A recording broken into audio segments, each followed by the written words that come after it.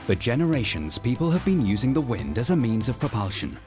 Whether it's sailing on water or flying in the air, wind is in plentiful supply, especially along the coast. But it's very difficult to store power from wind. That poses a problem when energy resources are scarce.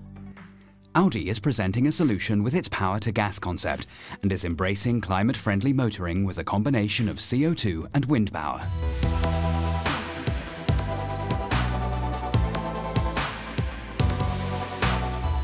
Tom Kristensen explains this unique concept.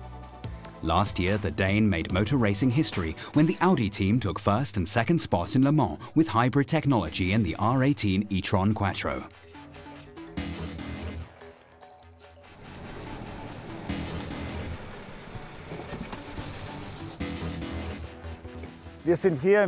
We're here in Werlte, in Lower Saxony, Germany.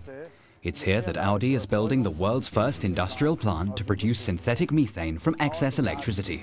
The technology is called power to gas. The carbon dioxide that we need comes from this biogas plant. The feedstock comes from agricultural waste.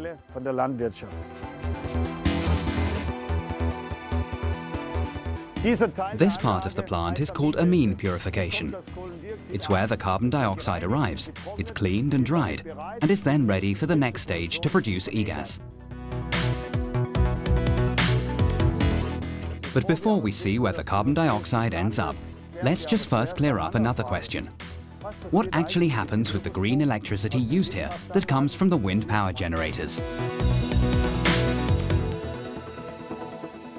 We're here with the electrolysis process, where the hydrogen is generated. You can see how it works here. We're all familiar with the little experiment from physics at school.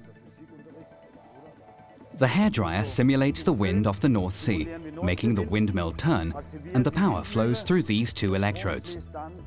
It's at this point that the water is split into hydrogen and oxygen. There you have electrolysis.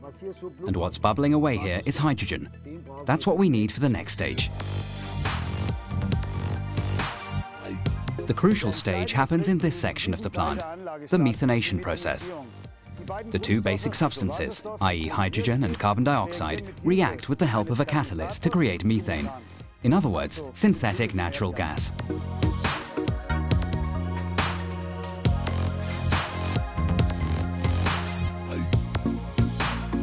Here the e-gas is fed into the gas network. That way you have access to enormous storage capacity.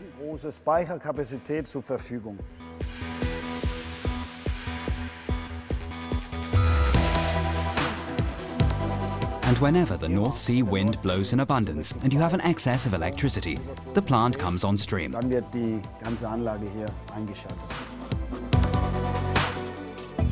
That reduces the load on the power grids. Yet another advantage of the Audi e-gas project.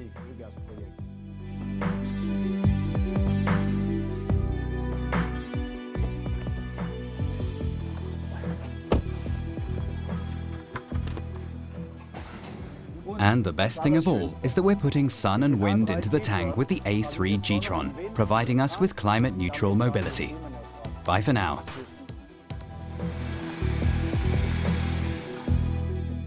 Audi is moving up a gear when it comes to sustainable mobility.